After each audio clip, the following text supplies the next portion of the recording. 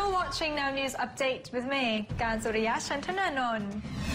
Thailand's economy fell drastically in 2014 to grow at its lowest pace for three years. As political turmoil is emerging, the kingdom compounded a fall in agriculture prices and waning exports. The National Economic and Social Development Board says gross domestic product expanded 0.7% last year, down from 2.9% recorded in 2013.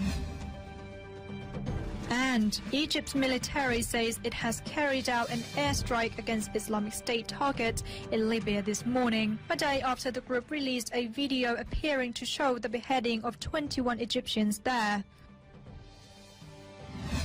ดาวน์โหลดแอปพลิเคชัน Now ได้แล้ววันนี้ทั้ง iOS Android และ Windows Phone รับชมรายการสดหรือย้อนหลังได้ 24 ชั่วโมง